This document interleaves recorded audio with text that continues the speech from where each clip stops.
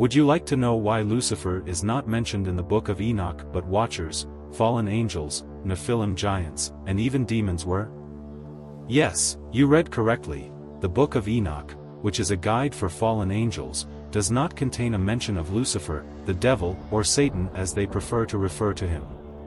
As it happens, there's a strange explanation, you won't believe it.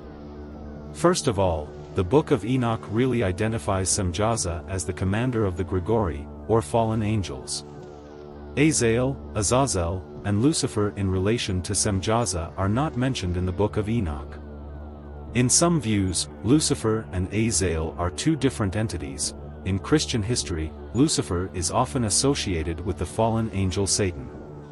Various mythical and religious traditions, however, may interpret these people in different ways.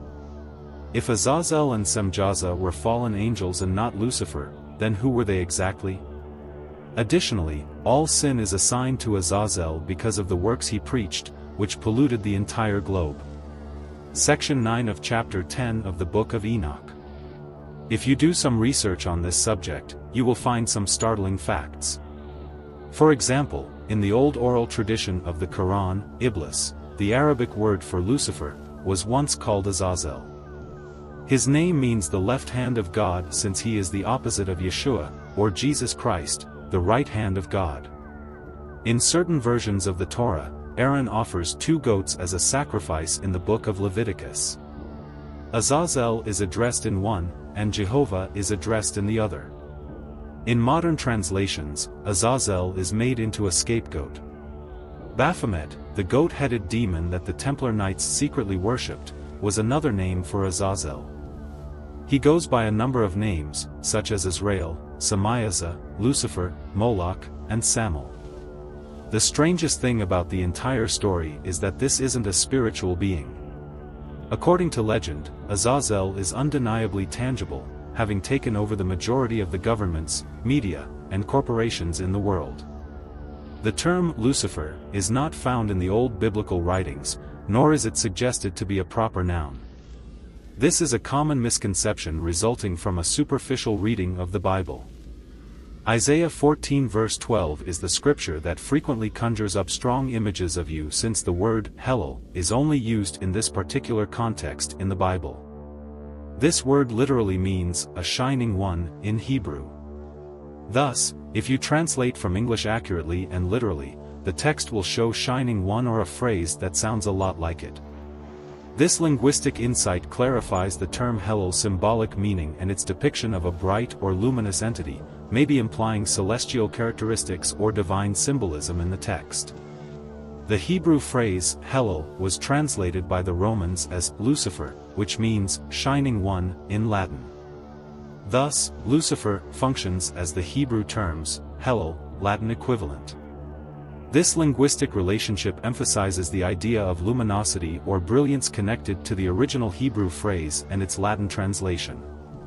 According to Roman Catholic doctrine, this passage refers to Satan rather than the king of Babylon, as the context of Isaiah 14 verse 14 would have it. Since they saw Lucifer as the embodiment of Satan, the term gained recognition and was approved as a proper noun, as a result, it was capitalized to Lucifer and included in official Roman Catholic doctrine. During the Reformation, a number of Protestant churches embraced the Roman Catholic meaning of this term. Because of this, rather than translating the Hebrew term, Helel, literally when translating the scriptures into English, the Roman Catholic interpretation was introduced into the translations of the day by using the Latin name Lucifer. Theological Dynamic Equivalence Translation Method is the name given to this translation methodology. Unlike some of the previous translations, a large number of modern English translations of the Old Testament are based on the Hebrew text rather than the Latin, and they translate Hebrew words literally into English without using the Latin. It is appropriate to read the scriptures from the Hebrew text of the Old Testament rather than the Latin Old Testament. The Watchers were angels who rebelled against God and the elements by taking on human form, getting married to terrestrial women, and producing the hybrid offspring known as the Nephilim. Semzaya was the head of the Watchers. Here's where some variations exist. Although this may sound like science fiction, the whole scenario is explained in Genesis 6 verses 1 to 4 in the Bible. This increased the level of immorality that caused God to bring the global flood. It was the Watcher's responsibility to monitor the human residents and offer support or direction. Angels cannot create other angels, but they have access to all the tools of man when they take on the human form. These people returned in greater numbers after the deluge killed sinful humanity and the Nephilim. The Nephilim were people who lived on earth both before and after the flood, according to Genesis 6 verse 4.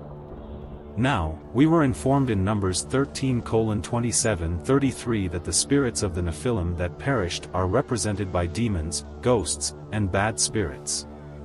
God, therefore, always allows Satan and his fallen angels to operate on their own, with Satan acting as their leader.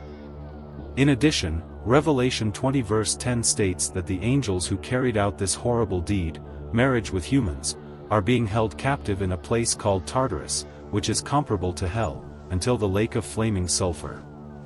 According to Jude 1 verse 6 and 2 Peter 2 verse 4, these fallen angels are imprisoned until judgment. Until the day of judgment, God permits Satan and his angels to live in freedom. It appears that Samziah and Azazel would be distinct creatures if Satan is Lucifer. The Book of Enoch explains a great deal about fallen angels, and Lucifer is noticeably missing. However, the book was removed from the Torah in the first century because references to a future Messiah, Jesus, offended God's people, the Jews. The early church fathers were all in favor of this work.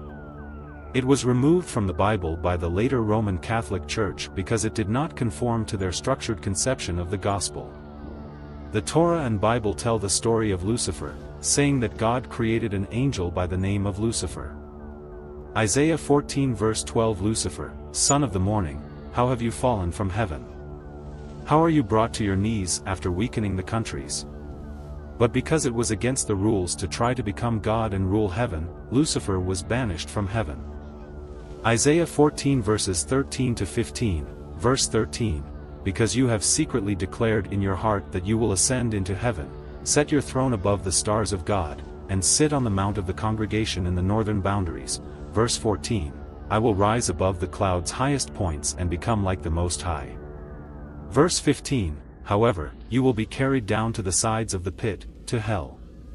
According to the book of Revelation 12 verses 8 to 9, it was Jesus Christ, not the angel Michael, who drove Lucifer from paradise. Pride was supposed to be the sin that ultimately caused Lucifer's downfall. I will lay thee before kings so that they may see you. Ezekiel 28 verse 17 says, Thy heart was lifted up because of thy beauty, thou hast corrupted thy wisdom by reason of thy brightness. However, Luke 10 verse 18 records, And he said unto them, I saw Satan fall from heaven like lightning. Lucifer was a cherub, one of the angels that surrounded and exalted God's throne. With a sense of entitlement, Lucifer convinced one-third of God's angels to side with him in his disobedience against the Almighty. Demons, also referred to as fallen angels, are hence creatures of heaven. Although hell was originally intended for the devil and his minions, far too many people will end up there as a result of rejecting Jesus Christ's plan for a route to paradise. Satan, formerly known as Lucifer, will ultimately burn in hell. According to Revelation 20 verse 10, the devil who tricked them was put into the lake of fire and brimstone, where the false prophet and the beast are, and he will suffer day and night for all eternity. There was no necessity for Lucifer to be addressed in the book of Enoch since its whole focus was on the Watchers, who subsequently evolved into the fallen angels. Thank you for your support.